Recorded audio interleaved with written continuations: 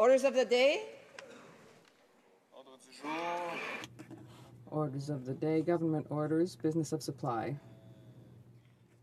Débat sur une motion Debate on Mr. Rankin's motion on decriminalization of marijuana possession.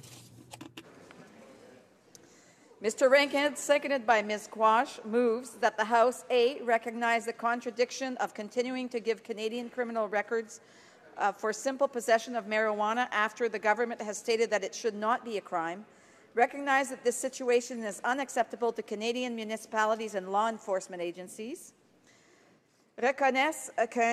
Recognize that a growing number of voices, including that of a former Liberal Prime Minister, are calling for decriminalization to address this gap and call upon the government to immediately decriminalize the simple possession of marijuana for personal use. The Honourable Member for Victoria. Thank you, Madam Speaker. I'm proud to rise today on this important Opposition Day motion dealing with the interim measure, the preparatory step to the legalization promised by the current government in its election campaign, namely addressing the decriminalization of the possession of small quantities of marijuana. Madam Speaker, I wish to announce that I'll be sharing my time with the member for Salaberry-Suroît.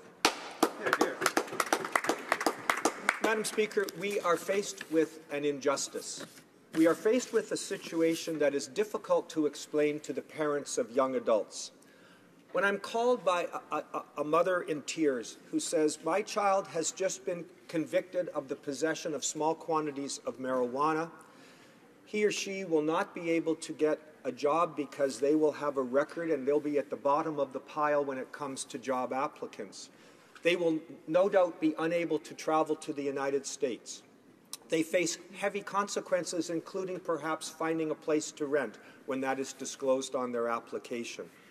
Meanwhile, we have the government saying that within a short period of time they will be bringing in measures, amendments presumably to the Controlled Drugs and Substances Act, that would put together a regime to, regular, to regulate and, and to permit the adults to, to consume marijuana. Now, of course, we already have medical marijuana available thanks to the courts of the land and legislation and regulations that were brought in re in response to that. But we're talking about young people in particular, but all Canadians who wish to consume a substance that will be illegal. So what's the problem? The problem is it may take two years, Madam Speaker, for the government to implement the regime it promised in the October election. The Minister of Health, when she spoke in New York at the United Nations, said, quote, it is impossible to arrest our way, our way out of the problem, close quote. And of course she's right. But they're going to continue to arrest their way out of the problem for likely until uh, 2018. If she promised that there would be legislation introduced in the spring of 2017, then it may be that that legislation, given the requirements of debate, committee work in both the House and the other place, it won't be implemented with signature of the Governor General until perhaps 2018. In that, in that particular circumstance, Madam Speaker, something perhaps approaching 100,000 Canadians, should it take two years, will find themselves with a record for possession of small quantities of marijuana. Statistics Canada reports that something approaching 60,000 Canadians a year are going to be convicted for that, uh, for that offence, because it currently is an offence. The government would have you say, well, the law is the law is the law. And of course they're right on that, Madam Speaker. But what they don't tell you is that they have the ability under the law to address this injustice. And that ability can be found in any number of ways. Now, I'm not here to suggest the best way, but one way I will speak to, Madam Speaker. If they wished to address this as a preparatory step on their road to regulation and uh, uh, permitting the use of marijuana for recreational purposes, they have the ability under the Director of Public Prosecutions Act for the Attorney General, our Minister of Justice, to issue a directive to the Director of the Public Prosecution Services to the effect that it is no longer in the public interest for small quantities of marijuana to be the subject of prosecutions.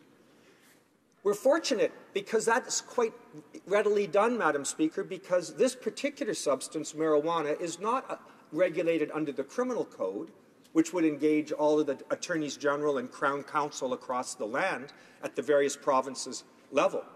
But no, it is dealt with under the Department of Justice through the DPP, the Public Prosecution Service, so that it would be federal employees, Crown Counsel, who would be given that directive. And in that way, we could ensure that what I, what I fear is a patchwork across the country is dealt with as well. When I say a patchwork, the situation at present is chaotic at best, Madam Speaker. I live in Victoria. The police have better things to do than to prosecute people for simple possession of marijuana in most circumstances. However, in the city of Saskatoon in Saskatchewan, prosecution occurs much more readily. In the city of Kelowna, it occurs much more readily. We have a completely different regime in Canada, depending where you are, for the, to address the possession of marijuana. As a Canadian, I find that offensive. We live in one country. Why is it that the law is so radically different in the real world, depending where you happen to be? That seems wrong. So that injustice can be dealt with quite readily, uh, Madam Speaker, should the government wish to do so. I've suggested one technique by which it could be achieved, but there no doubt are other techniques open to the government that wish to say that. So they no longer can simply hide behind the veil that, oh, well, it's against the law, the law is the law until it's changed. They have an interim way in which to, to change that law. There are preparatory steps along the way that would deal with the injustices. In addition, hundreds of thousands of Canadians have uh, uh, records, criminal records, for the possession of marijuana, going back often 20 years. That's wrong. The government could, as a consequential amendment, deal with that, and I hope that they do. But in the meantime, people's lives are being affected people's lives uh, are, are, being affected by an injustice that could be addressed by this government should it wish to do so. Now, Madam Speaker, um, it's important to recognize that the um, that we are not advocating that marijuana be made available any more than the government is to, for young people. We want, uh, we want and respect the government's efforts to achieve a robust regulatory regime that keeps marijuana out of the hands of young people, children, and so forth. But we also want a regime where the injustices that are occurring now are addressed before we have to wait perhaps a year and a half or two years to address. And that is, that is the reason for uh, my, my motion today to address this problem. Um,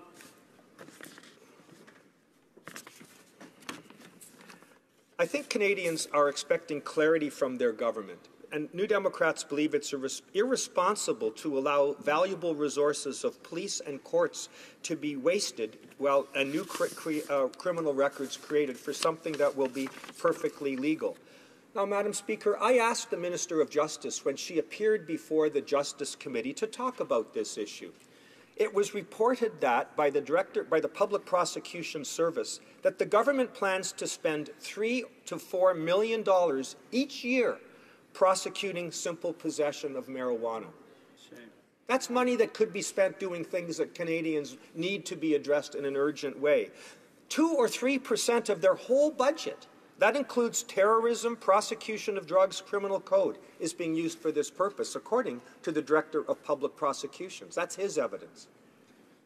Let me read to you, Madam, Madam Speaker, something that Justice Selkirk of the Ontario Court of Justice said in a case called Regina and Racine.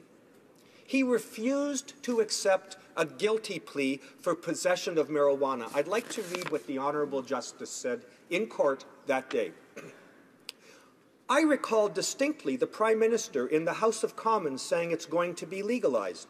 I'm not going to be the last judge in this country to convict somebody of simple possession of marijuana.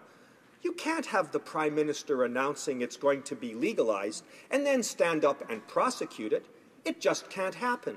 It's a ludicrous, ludicrous situation. So I asked her, given those costs, would the government consider doing anything different? And the answer was vague to non existent. So, from a financial point of view, from the heavy hardship we're imposing, particularly on our younger population, and the member for Salaberry-Suroît will speak to that in greater detail. There's every reason to address this gap, and the excuses given by the government for not doing so simply do not hold water. There, there could, there were, uh, as I say, ch uh, changes that could be made in the interim, and I want to end by saying, Madam Speaker, something that I said at the outset. The New Democratic Party agrees, like former Prime Minister Chrétien, that the time has come for decriminalization. We believe that there is every ability to fix this problem. It's a question of political will and sound public policy. To hide behind the status quo and do nothing is the government's particular option until they finally have a law enacted is not right it creates a continuing injustice in this country, which is felt in different parts of the country in different ways. And we say on, the, on this side of the House that it's time to fix that problem now. Thank you. Questions and comments? Uh, questions et commentaires? L'honorable. The honourable member for Trois-Rivières. Thank you, Madam Speaker. Obviously, I listened uh, very carefully to our critic for Justice's speech, and I would like to benefit from his expertise to broaden the scope of the discussion somewhat. Uh, because before uh, becoming a police officer, I taught for 25 years in a secondary school. And we know that there are incidents with teens very often. So finding yourself with um, record at the age of 14 or 15 because uh, you've been dragged along with the group and tried out an illegal substance is already problematic because that is a problem you'll be carrying with on your shoulders for a long time. It's more and more difficult in Canada to get a pardon uh, without uh, referring to the costs of doing this. The honourable member. I want to thank my colleague from Trois-Rivières for his experience and expertise that he brings to bear on this important debate. It is heartbreaking to receive letters from parents saying, My child was dragged in, into a group setting, made, experimented with this substance, which, oh, by the way, will be legal in a couple of years' time, and his or her life is destroyed, at least in the short term, until a pardon may or may not be granted. And as the Honourable Member pointed out, getting a pardon gets increasingly difficult reforms made by the, the former government has have made that even more expensive and difficult than in the past. So why, in that circumstance, won't the government understand that to simply hide behind, oh, well, the law is the law until we change it, when they have techniques that they could bring to bear to fix it now, is truly beyond my understanding. And comments, questions et commentaires. The honourable member for Scarborough Southwest. Madam Chair, um, I would just wanted to inquire. The, the, the member from uh, Victoria made reference to a particular court case. Uh, I believe it was uh, heard by Judge Justice Selkirk. Um, he quoted some remarks made by Justice Selkirk, but I'm, I'm, there are other relevant remarks, and I just wanted to ask him about that, if I may, through you, Madam Chair. Um, and, and Mr. Selkirk, in response to his remarks, was advised by the Crown Attorney that the federal Crown's position is that the, the possession of marijuana was still illegal to possess, and therefore it's still the law, to which the court said, well, okay, and reset a trial date. And then subsequently, in sentencing the accused in that matter on other things, the judge issued an order that he, the accused was not to possess or consume any unlawful drugs or substances except with a valid prescription. And I just wanted to, was, was curious um, if the opposite member was aware of all of the facts of, of that particular case or only the small portion that he quoted. The honourable member for Victoria. Yes, thank you, uh, and thank you to my friend from Scarborough Southwest for that additional remark. The remark I read was indeed a quote from the tra- court transcript brought to our attention by the Director of Public Prosecutions. The, what happened subsequently in that case was indeed other charges and sentence for other matters, but nevertheless, the uh, the remarks that were made, I think, are very much reflective of what I hear from judges across this land. As justice critic for the opposition, I frequently hear from judges, mostly at the provincial court level, that are de- dealing with these issues in my province, and they are as frustrated as other Canadians with the status quo.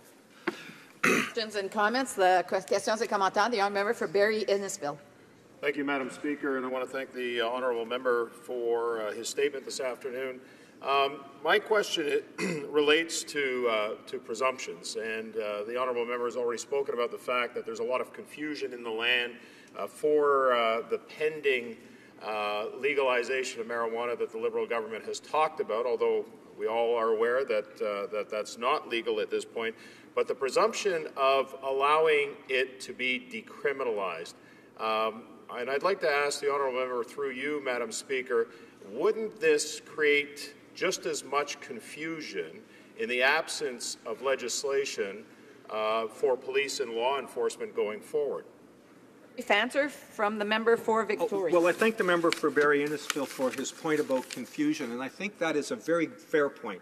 And so the question is how one drafts the actual directive, and that could be done by quantity, saying how many grams would be affected, and the circumstances could be laid out. All of that could be done as a matter of public policy by careful drafting. But the point about confusion is absolutely right. We live in a very confused state of the law where something is essentially illegal in one province and wide open in another. It's time to fix that confusion once and for all.